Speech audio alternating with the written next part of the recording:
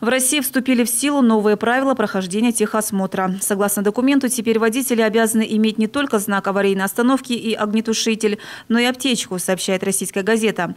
Запрещается эксплуатация автомобиля в случае повреждений и дефектов усилителя руля. А если в машине есть шипованная резина, то она должна быть установлена на все колеса. Отметим, что теперь запрещено использовать бесцветные или окрашенные оптические детали и тонировать фары. Возникнут проблемы и у тех, кто демонтировал стеклоочистители очистители и стеклоомыватели. Они должны быть в машине, если это предусмотрено производителем. Если автовладелец нарушит что-то из этих условий, пройти техосмотр он не сможет.